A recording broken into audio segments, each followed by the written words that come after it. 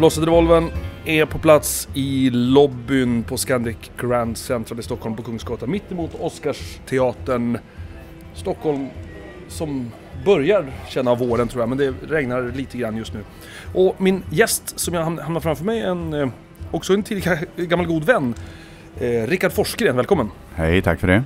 Eh, vad roligt att, att träffas Fak- faktiskt. Det var, var ett tag sedan. Ja, det var det. Kul att, vara, kul att få vara med. Det är min första podcast här. Ja, vad roligt! Så Så, så jag tar din podd Virgin här nu. kan man säga. Ja, just det. Var försiktig. Jag ska, och jag ska ta det så försiktigt. Du, eh, jag brukar alltid börja med att få, så vi ska få ihop ansikte med namn. Eh, bara lite senast vad vi kan ha sett i eh, innan vi dör. Spela lite polis där. Innan vi dör, spela polis. Eh, jordskott Mm. sändes ju för något år sedan här. Eh, ja, det har blivit lite film och, och tv de senaste åren här sen jag lämnade Stadsteatern. Så det Ja, det mest förbjudna om Kerstin Thorvall var jag med lite i. Och Allvarsamma leken, men ja. ja, det är lite, ja men bara så vi får ett, ett, ett, eh, ett ansikte på namnet. Eh, Rickard, om du skulle berätta för mig utifrån att jag inte hade en aning om någonting. Eh, Vad, vad, hur beskriver du vad en skådespelare gör? Mm. Ja, den frågan har man aldrig fått tror jag faktiskt. Eh, ja, vad gör vi? Vi, vi, vi eh, försöker väl genom att gestalta andra människor eh, berätta olika typer av historier för en publik kan man väl säga. I olika former. Så, Det är det korta enkla svaret. ja, det måste det vara tror jag. Jag har inte kommit på någon bra definition tidigare. Men, Nej, nej. Ja men det är väl bra. Eh. Berätta historier. En historieberättare helt enkelt. ja, det kan man väl säga. Eh, din bakgrund och uppväxt. Du är inte stockholmare hör man. Hör man det? Så om jag har slipat bort min eh, dialekt trodde jag. Eh, Den kommer och går. Jag är från Lerum utanför Göteborg. Mm. Eh, bakgrund, ja. Jag har det finns ingen teater i min släkt överhuvudtaget. Eh, jag vet inte hur långt tillbaka vi ska gå. Men, ja, men, men, vi kan ta det lite, lite lagom sådär. ja, eh, vi hade en, eh, en, en dramalärare på gymnasiet eh, som drog igång något som hette Kabarén. Det var musikteater, sådär, teatermusik eh, för alla som ville på gymnasiet. Mm. Och jag eh, gick motvilligt med det här efter att mina kompisar hade övertalat mig.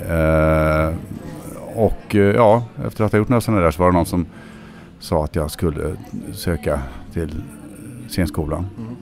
Men, men På den innan, vägen är det. om vi, om vi bara hoppar tillbaka lite grann. Det, har inte, det fanns inga sådana skådestankar. Du vart övertalad att gå med i kabaré liksom. Ja, de tjatade. Jag hade hållit på på skolan sådär lite grann och tyckte det var kul. Men det fanns inte liksom i min föreställningsvärld att jag på något sätt skulle vara bra på det eller kunna Nej. ägna mig åt det. Så, så att nej, mamma och pappa har, har varit eh, knegare och, och sådär. Så Men det är jag, in- inget konstnärskap i släkten alls på det sättet. Inte direkt, nej. Eh, Min farfar var väl lite bohem och flög jorden runt och, och, och sådär och skrev lite men liksom inget, eh, inget, inget mer så. Ja. Men, men när började skådespelartankarna röra sig i huvudet på allvar då? Det var väl efter den här kabarén. Vi gjorde, det var ju väldigt lyckat alla var med och en väldigt entusiasmerande man som heter Gösta Jansson som är stort tack skyldig som uh, fick igång folk och uh, när de har gjort fem kabaréer tänkte de att nu är det slut på den här.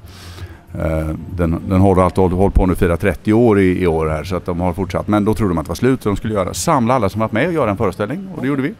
Och då kom en kille då som faktiskt, eh, Fredrik T Olsson som är författare och manusförfattare som sa att du borde söka scenskolan. Och så tänkte jag att ja, det kanske jag kan göra för att lägga den här drömmen på hyllan för jag trodde inte riktigt på det. Någonting tändes väl i mig men jag, jag, jag, jag, jag tänkte jag gör det nu får vi se så har jag gjort det i alla fall. Men Så det jag- gjorde du direkt efter gymnasiet? Ja, jag fegade i två år. Sen så. Okej. och sen gick jag till andra och tredje och sen kom jag in på, på Skara skolscen och där, där fattar man väl att man, att man ändå hade en- något, något lit, någon slags begåvning sådär. Men du sökte Skara samtidigt som du sökte scenskolan? Ja, ja, i princip var det väl något år där. Ja. Och sen åkte jag upp till Stockholm och sökte dit sen eh, och gick till sista provet och så sa de det att eh, kom tillbaka nästa år sa hon. Jag tänkte att det ska jag göra. Så jag var kaxig och avstod de andra skolorna ett år och så kom jag in där sen. Och Okej. det, ja. Men som sagt var, det har varit en liten här, kräftgång och gått baklänges in i det här och liksom inte riktigt vågat tro på att man har något att komma med. Men sen så, ja, i takt med att man jobbar med det och man kärleken till det växer och man förstår mer och mer och så, här, så har det... Men när kom du in? När var... Ja, jag var 17, vad var jag? 23 tror jag. Ja, just det. Jag skulle fylla 24. Ja, Ja. Vad- gjorde scenskoleåren med dig? Oj. Jag, tack, jag är lite glad att jag gick Skara innan för det var tvåårigt på den tiden och då fick man ändå lära sig någon form av grund sådär och en, och en terminologi och ett förhållningssätt i gruppen och med arbet, arbetsprocesserna som man håller på med. Så att jag, det, det var rätt skönt att komma in eh, och ha det i grunden när jag började. Mm. Men det är klart, man får ju en plattform för att utvecklas och man träffar andra människor och liksom, det är en bra utbildning. Man kan alltid ha kritik mot, mot, mot, mot utbildningar så, men, men jag hade ändå bra år där liksom. eh, säga.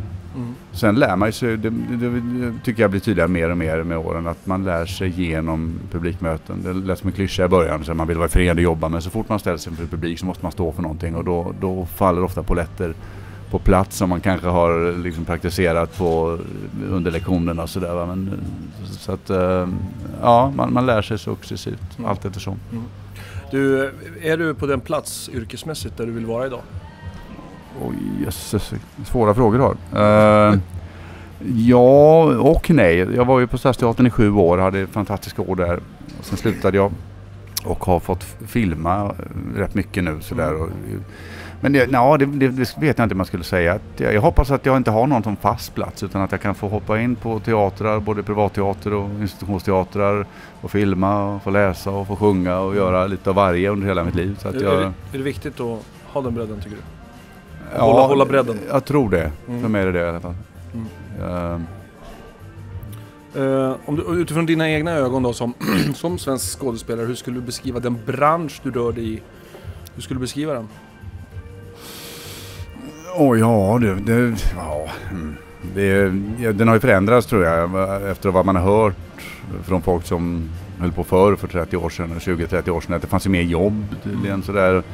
Så det där det präglar ju hela tiden när jag är frilansare och det är ju en ständig jakt på jobb sådär. Och det är Ja. klart det skapar väl en viss form av oro och ängslighet och sådär i, i branschen. Samtidigt som det görs ju väldigt mycket mer film och TV nu och många skådespelare jobbar utomlands i England eller USA eller Tyskland eller Norge och Danmark. Och, och det görs tv-serier och filmer eh, i en rasande fart. Så att, eh, jag vet inte vad, vad netto, nettosituationen ut om det blir, ett, eh, blir ett färre jobb eller, eller inte. Men, men, Men, eh, det rimmar ju inte riktigt rätt egentligen, för utbudet är ju så oerhört enormt idag. Ja. Det borde ju finnas hur mycket jobb som helst. Ja, det är ju, finns ju en konstant arbetslöshet liksom. Jag tror bara man får försöka hantera den. Jag försöker inte bry mig om för mycket hur branschen ser ut utan försöka hitta mina, mina former liksom och vara så bred som möjligt i det jag gör. Och, men det är klart, det, det är ju det är lite tufft ibland då när man vad fan man har gett sig in på. Liksom, Mm. sådär, att man inte valde ett vanligt jobb men samtidigt så är det så. Men vad är ett vanligt jobb? Ja, nej, det, ja. Mm. Det finns ju andra, andra yrken men med, med, med fasta Fast- fasta tider och- fasta rutiner fasta och större säkerhet och sådär. Men samtidigt så vet jag med mig själv att jag tröttnar på sånt där också. Jag behöver liksom um, ha den här pressen och den här möjligheten att hoppa runt och göra olika saker. Mm. Så att förhoppningsvis så förhoppningsvis sitter man om tio år kanske eller några år att det, det faktiskt rullar in lite jobb här och där. Sådär. Men jag tror det gäller att vara bred, så bred man kan vara. Vissa regisserar jag har inte gjort det nu, det skulle vara kul jag menar det, sjungit lite och finns, ja, det finns mycket att göra inom det här. Mm. Försökt undervisa lite och så också. Har du någon, eh, någon förebild inom yrket? Som du ser upp till eller till, faller tillbaka på och inspireras av? Ja, jag tror man hade det väl förr, vissa så här som man gick igång på liksom. eh, Förebilder på olika sätt gör det väl tycker Mm. jag. Eh, Men jag kommer inte på någon nu. Nej. Eh, Om vi pratar lite eh, hantverk då, att du själv är verktyget. Om vi, om, en, en, den enkla frågan är hur, hur ser ett rollarbete ut från punkt A till punkt premiär? Ja, det där är ju...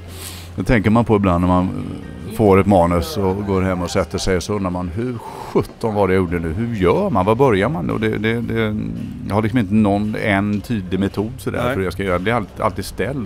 Kan man se äldre, äldre kollegor säga samma sak. Att jag vet inte hur jag gör, jag, det bara kommer. Men det är väl så man börjar läsa, man börjar titta, läsa. Det beror lite på film och te- teater skulle jag säga Mm.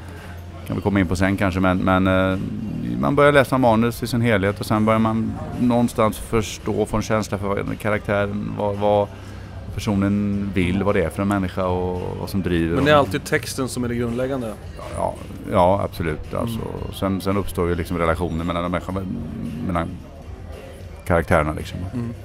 Men just att försöka nysta ut vad, vad, vad det är man vill liksom. Vad, vad som driver en liksom. Och sen så, jag menar ibland, vissa människor är väldigt försiktiga och tar inte några beslut förrän senare i processen. Jag kan vara rätt snabb ibland och aha, fatta vad det handlar om och sådär. Och då kan man ju ha någonting att gå på i alla fall. Sen Mm. kanske man inte ska vara för snabb och ta de definitiva besluten. Men det, det är något för mig och Ja, så, så jobbar jag nog tror jag. Att jag Men det är mycket att- frågor hela tiden alltså. smak på det och så börjar man liksom jobba sig in i det. Sen går man upp på golvet och testar det oftast om man spelar teater. Film har inte den möjligheten alltid att man repar. Man repar Nej. inte så mycket. Men, men teater, repetition är ju mellan 8 och 12 veckor liksom. Så då har man ofta tid att testa. Och så går man hem och så står man och så mumlar man repliker och diskar lite. Och då faller, jag tycker mycket av jobbet görs hemma. När man är, när man är ute och går sådär. Och man, ja. Men skulle du säga att du är en utifrån och in-arbetare eller inifrån och ut? Ja, jag, ja, jag är ju såklart inifrån och ut om man räknar, räknar, räknar det så. Men samtidigt kan man ju få hjälp ibland av yt- yttre attribut. Jag menar, ska man spela militär och få på sig par stövlar eller få på mig en uniform så kan det hända någonting med mig. Eller någon, alltså, det, det är klart att... eh, Men, men jag, jag tror inte, ena, jag behöver inte sluta det andra. Man, man ska ta hjälp av det man, eh, det man har liksom. Men det är inte så mycket att stå framför spegeln och prova Nej, nej, nej, nej, nej för sjutton. Nej, Nej. nej. inget sånt. Nej, inget sånt. Jag försöker undvika det faktiskt. Ja. Nej, men det kan vara väldigt hämmande det. Det är samma sak som att se sig själv. Om man har fel ingång i det där så kan man bli väldigt hämmad. Det finns ju de som sitter och tittar på sina tagna jämt och filmar och de som, som vägrar göra det. Jag har blivit bättre och försöker vara objektiv liksom. Så där, bara för, för att kolla liksom rent tekniskt vad det handlar om. Men, men eh, man ska nog akta sig för att ha de där yttre ögonen på sig för mycket. Då blir man så stel. Men, men tittar du på allt du gör? Ser du allt du Ja, filmar? jag försöker göra det faktiskt. Jag försöker göra det. Det lite för att vänja mig. Jag tyckte det var så hemskt i början men nu, nu jag har blivit bättre på det. Ja. Och se om man kan lära sig någonting. Och man försöker inte vara för hård mot mig själv heller. Det har alltid varit en, en, en, eh, ett problem för mig det, att jag har varit så jäkla eh, kritisk mot mig själv från att jag var barn liksom, i allt jag har gjort. Det har varit väldigt hämmande för mig så jag försöker att titta på mig själv och, och tycka att det där var väl inte så dumt. Alltså det, det, det är en konst det där att Mm. acceptera sig själv och sina fel och brister på något Mm. sätt. Ja. Men, men processen då, är den... eh, hur, hur nära en premiär blir du klar? Ja, det beror också på. Jag kan vara lite lat ibland. Alltså. Ja. Det finns ju de som sitter och plöjer jämt. Jag, försöker, jag, jag behöver lite tidspress. Jag, jag märker det i allt jag gjort hela mitt liv. Så jag lägger en grund och sen så går jag och känner efter och pul- pular lite för mig själv och sådär. Sen när det börjar dra ihop sig, då jäklar, då händer någonting. Då sätts Mm. motorerna igång och då, då börjar det liksom bära ut saker. Så att jag, ja, jag är nog ganska snabb men jag är lite lat. Mm. Snabb men lat. Ja. det, det är väl en bra definition. Ja, Rickard Forsgren, ja. snabb men lat. Ja, ursäkta. Ja. Har, har din, har synen på yrket förändrats under åren du har varit aktiv? Din egen syn alltså. Ser du på yrket på ett annat sätt idag än vad du gjorde när du gick ut scenskolan? Oj, ännu en svår fråga. Uh, i, åh, hur tänker du då? Eh, ja, Fick jag ställa motfrågor eller? ja det kan man göra. Ja, men alltså, hur ser du på... Alltså du, du hade säkert en, eh, en bild av hur yrket skulle vara Mm. och hur det var när du gick ut scenskolan. Och du har förmodligen en helt annan bild idag. Mm. Ja, Generellt så var man, var man väl mer av romantiker när man var yngre så Mm. kanske något krassare då på gott och ont liksom. Men, men eh, i, i grund och botten är det nog eh, har jag nog inte förändrat min syn så mycket faktiskt. Jag har sett flera aspekter av det tror jag. Och, Mm. Och jag har också vågat testa fler saker. Så. Mm. Men eh, det, ja, det förändras hela tiden men jag kan inte komma på något klokt svar där. Och, Man måste inte säga bra här. Ja. Kom räddningsledningen förbi hörde vi. Det var tur. Du, eh, har du vacklat i yrkesvalet något? Någonsin? Åh, eh, ja och nej. Ja, I grund och botten har jag faktiskt inte det. Jag, jag, som sagt var, jag gick liksom kräftgång i detta och jag sökte för att lägga det på hyllan egentligen. Jag kom in ganska snabbt och sen så har det, jag har ju haft korta perioder av arbetslöshet sådär men i, i, stort så har jag ändå jobbat rätt mycket och jag känner Mm. ändå att jag har lyckats liksom få till det några gånger sådär. Så jag känner att så länge det, så länge det ramlar in jobb så har jag inga planer på att sluta. Men jag skulle nog inte orka gå för länge utan att få jobb eller känna att man liksom var på rätt spår. Då hade jag nog eh, fegat ur och Mm. gjort något annat tror jag. Vad skulle du ha gjort istället? Åh, ja det är en bra fråga. Eh, jag, har nog, jag hade ju tankar om eh, Dels hade jag tankar om liksom opinionsbildning, kanske journalistik och sånt där. Men jag, jag, jag är i behov av kommunikationer känner jag. Jag har ju alltid, alltid älskat pedagogik så jag undrar om inte jag hade blivit lärare. Antingen för väldigt små barn eller, eller gymnasiet. Eller väldigt kanske, stora eller, barn. Ja, eller högre vuxna. Jag vet inte. Mm. Eh, Men det är, det är kanske inte så långt ifrån. Men vackla i sitt val. Jo men jag tänker väl nu när man, eh, jag var på Stadsteatern, man gick scenskolan, så var på teatern och det har rullat på och så vart jag arbetslös där och jag fick en liten son här som är fyra år och då, man fyller 40, jag fyllt 43 precis och då står man väl mitt i livet och tänker att jag Saker har väl förändrats och det är ju en tuff bransch, inte minst ekonomiskt liksom sådär och får att gå runt ibland. Så att, men, eh, och då har jag väl tänkt tanken att det, det, jag har försökt våga tänka att man kan, att man måste inte göra det här. Jag skulle kunna göra något annat. Jag skulle kunna ta en time-out Mm. och komma tillbaka om 10-20 år.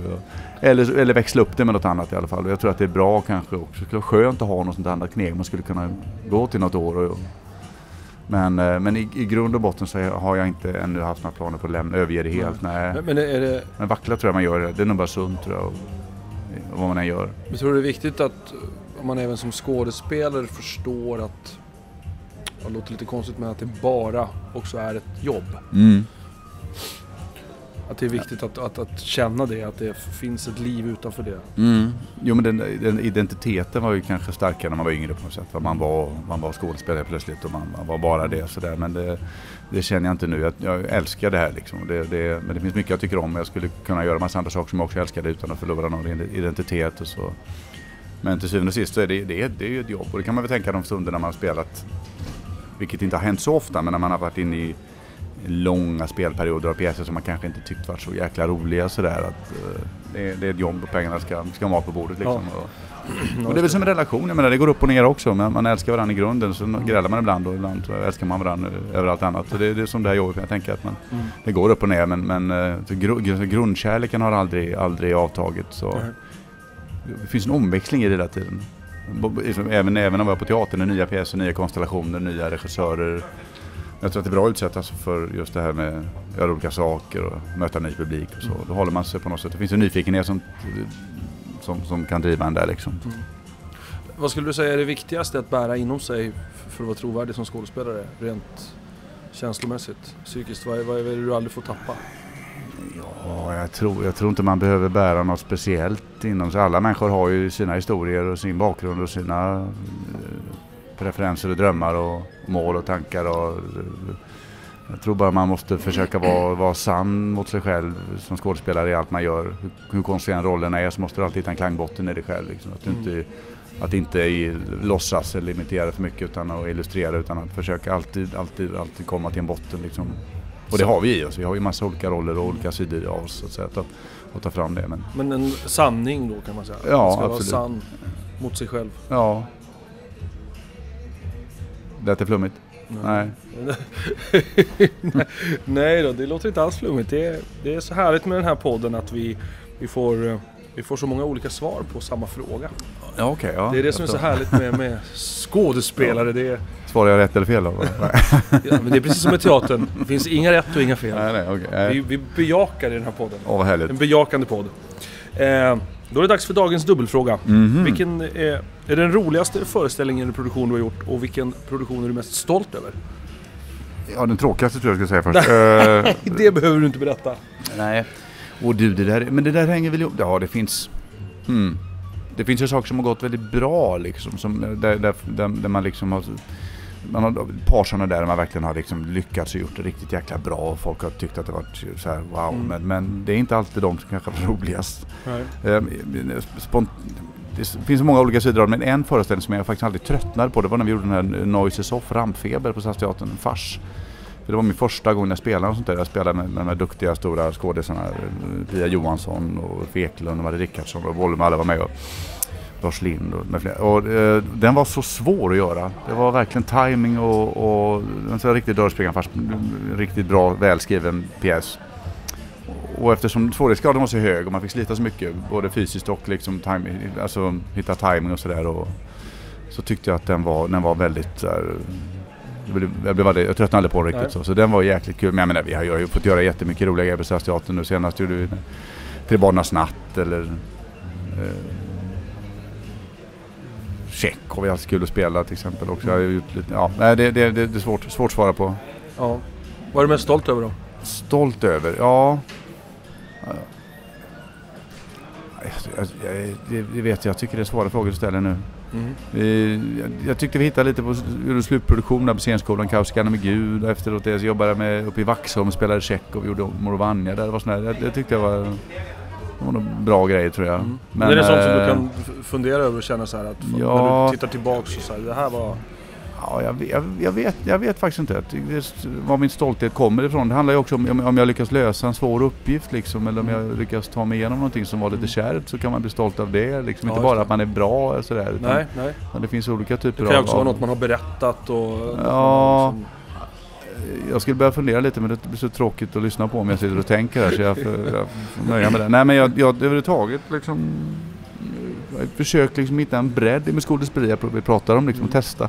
Våga testa olika saker, sidor av mig själv också det här med att, eh, att, att våga misslyckas till exempel, att våga vara dålig, ta den risken liksom sådär. Jag försökte, för att det inte ska bli tråkigt för mig själv, utan jag försökte liksom att, inte, att, att jag inte, liksom, jag försökte inte fastna i något spår där jag är bra, liksom, där jag går och är safe. Utan jag försökte att kasta mig ut och göra jävligt, det är för mycket ibland och för lite ibland och sådär. Och det, det, kan jag vara rätt stolt över att jag har varit, vågat göra det sådär. För Eh, flera gäster vi har haft här har ju har pratat mycket om att vi är ju inte mer än människor och människan går gärna den enkla vägen.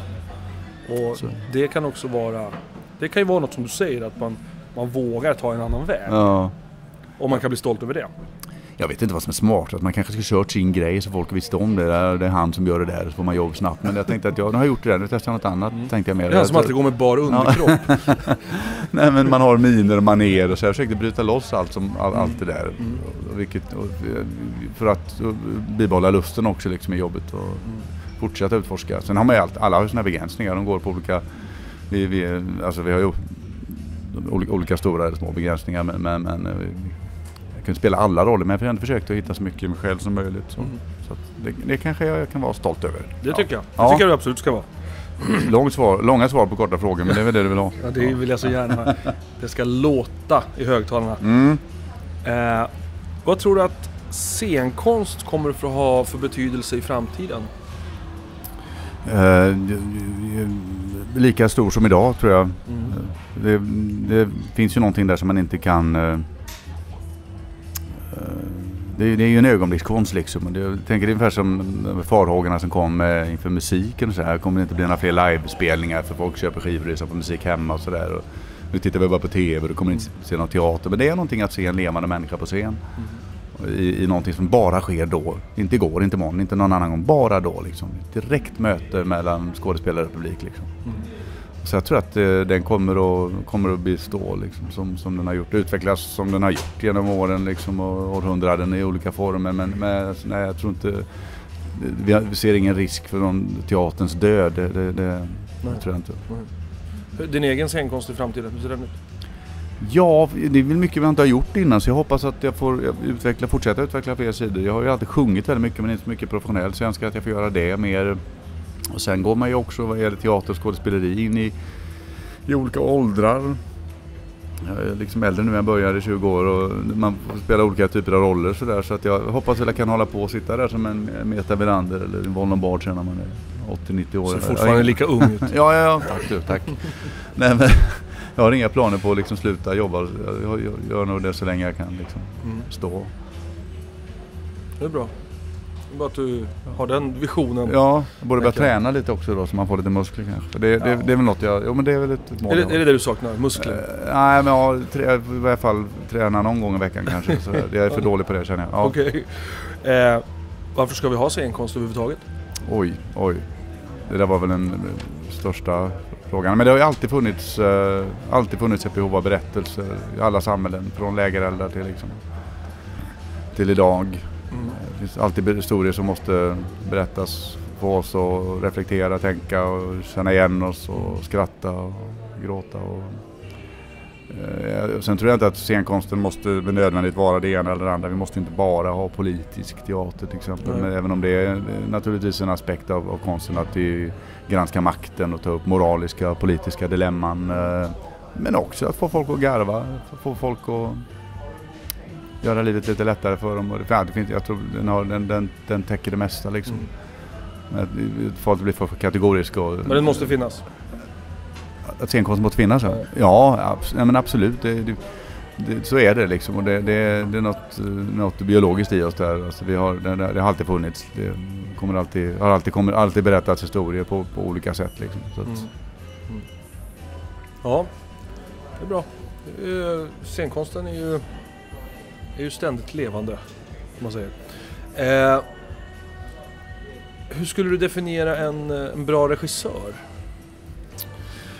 Eh, och jag har jobbat med många nu och jag...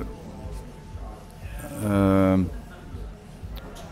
en, en regissör som jag vet vad hen vill berätta och som kan eh, gå in och se vad skådespelarna har med sig och använda sig av det och utföra det arbetet tillsammans med skådespelarna, nå den visionen tillsammans med dem en dålig regissör är en som har en alltför tydlig bild och som inte liksom, försöker banka in skådespelarna i, i, liksom, i sin vision utan att ta med dem i beräkningen. Så, där. Och, så det blir väldigt lätt när man har en, en, en, en, en bra dialog med, med regissörer. Man förstår varandra, man ger och tar. Så där.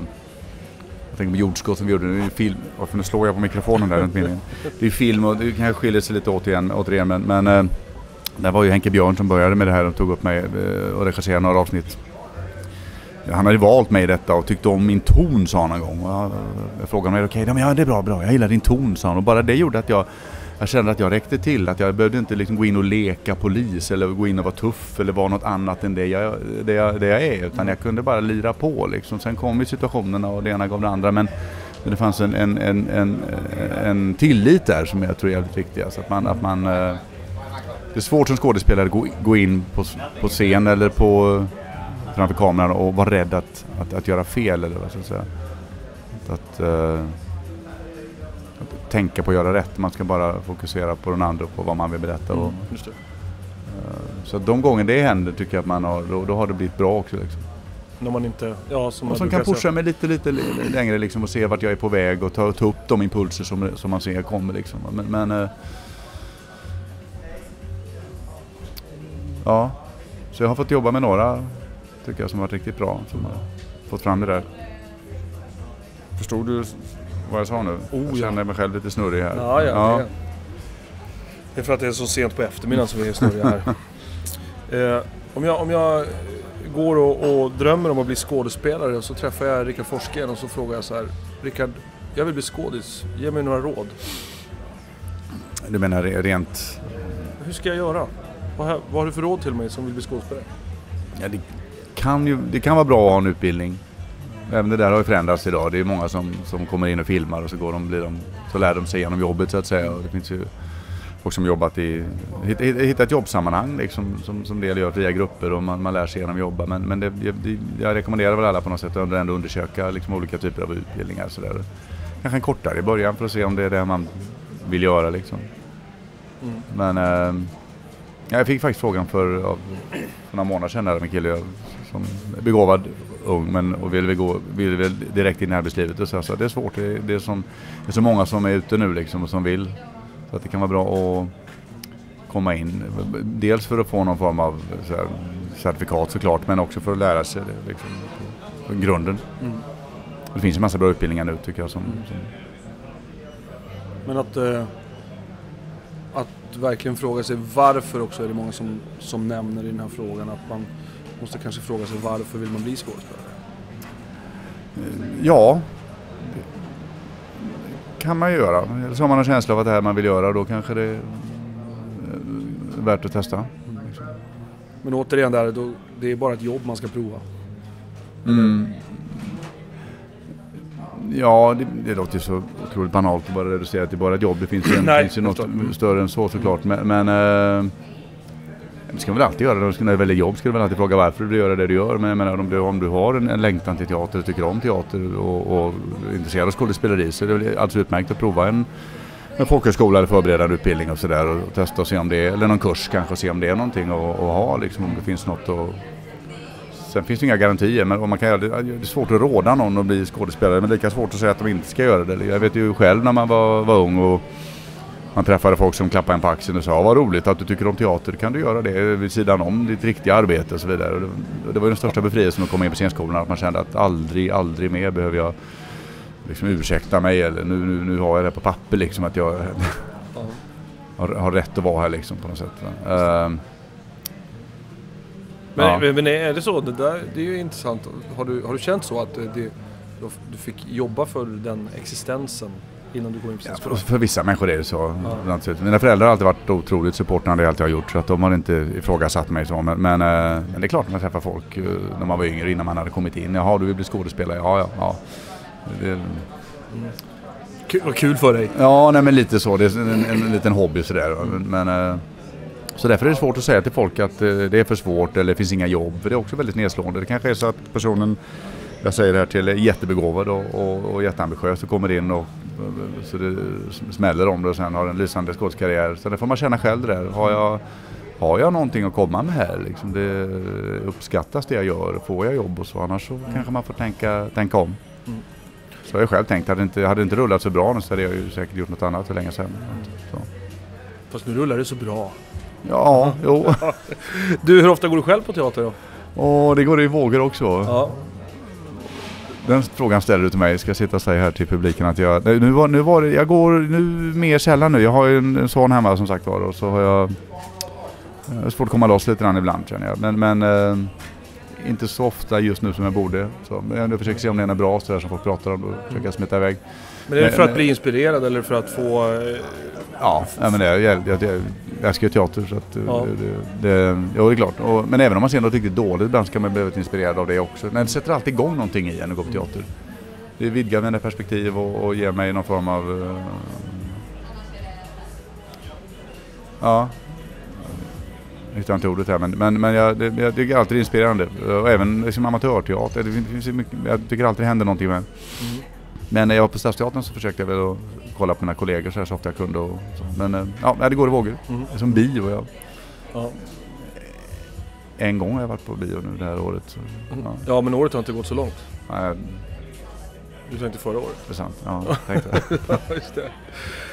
Du, du om någon ska jag säga det här till jag ställer nästa fråga. Det är den sista frågan i den här podden eh, och den enklaste men som också har visat bli den svåraste. Mhm, Spännande. Mm. Ja, Jag vill att du delar med dig av ett kärt minne bakom kulissen. Jag ska ta och trycka på pausknappen här så jag får fundera. Jag kan, klipp, jag kan klippa det här sen. Mm. Eh, Jag hoppade in i Arsenik och gamla spetsar som jag gjorde på Stadsteatern. Jag hoppade in för en, en kollega som hade spelat 50 föreställningar. Jag hoppade in och gjorde 50 till.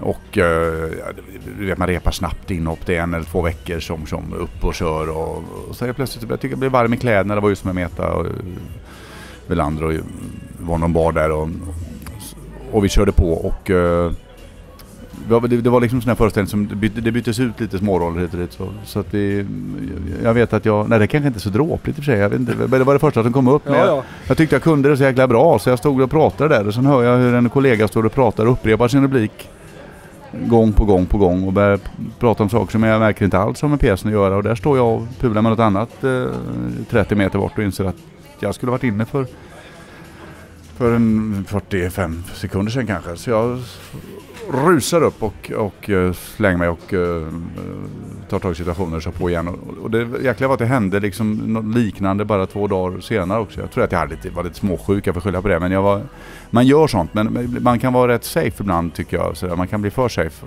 och, och det blev jag där. Så, Mm. nej, det var inte så dråpligt kanske, men, men eh, ofta brukar jag eh, klara mig ganska bra med entréer och sådär. Jag har inte, ännu faktiskt inte bett om text en enda gång på scen. Vilket Nej. jag Det är väl något att vara stolt över? Ja, första gången på Stadsteatern satt jag faktiskt med en kollega och eh, det blev helt svart. Vi satt i fåtöljen och hade en scen. Och det var helt, helt svart i huvudet. Men jag satt och tänkte och tänkte. Ska jag be om text eller ska jag... Och så plötsligt så infann det sig. Och det, jag vet inte hur, om det kan ha varit 10 sekunder eller en halv minut där heller. Tiden liksom upphör på något sätt. Ja, men, blir som en evighet. men jag kom på tråden där. Kom på spår igen utan att och liksom be om Mm. hjälp. Vill du ha något, vill du ha något, du ville haft nått smaskigare kanske? Nej, nej någonting? absolut nej. inte. Det, det, vi jobbar inte med smaskiga saker. Nej, du sa det. Nej. Nej, och det är bra. Nej, jag vet att eh, en föreställning jag var med i så somnade faktiskt en skådespelare bakom scen. Så, man fick, så inspicierande fick väcka honom. Ja. Var det samma som vi var med i där Ja, kanske? det var för det. Jag tänkte just berätta det, men det kan man inte göra här. Nej, det var det också kan väldigt, nej. Nej, det- nej, det ska vi inte göra. Vi vill bara säga att det hände. Sånt finns ju, men jag tänkte för, för, för egen del så... Det var alltså inte jag som somnade då en gång. Nej. Säger vi. Nej, nej det var det inte. Du Rickard, eh, jag känner mig jätteklar med mina frågor. Känner du att du har fått något osagt i våran, eh, vårat pratuniversum här? Jag, jag vet inte riktigt vad det skulle vara faktiskt. Jag, Nej. kul att få vara med här. Ska jag, ta och lyssna. jag lyssnar inte så mycket på podcast själv så som är, det, det, men den här ska jag, Ska du lyssna ska, på? inte bara mitt eget avsnitt utan det är, Mm. Du börjar med ditt eget avsnitt. Ja vi gör det. Sen- Men du, tack ska du ha. Ja, tack Rickard Forsgren för att du var med i den oavlåsta revolven.